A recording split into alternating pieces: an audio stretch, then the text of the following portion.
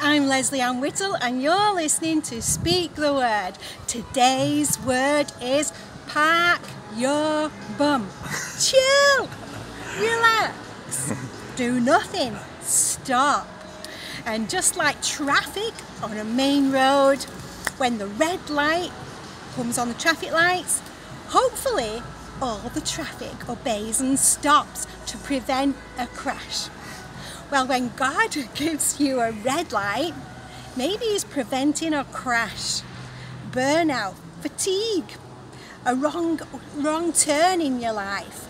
And He will do the work behind the scenes. You just relax until He gives you that amber word where He will prepare you, give you motivation and passion for what's coming. And when the green light comes on, it's time to go off on your adventure for what God has prepared. So, meanwhile, if God has given you a red light, chill, relax, park your bum. See you next time.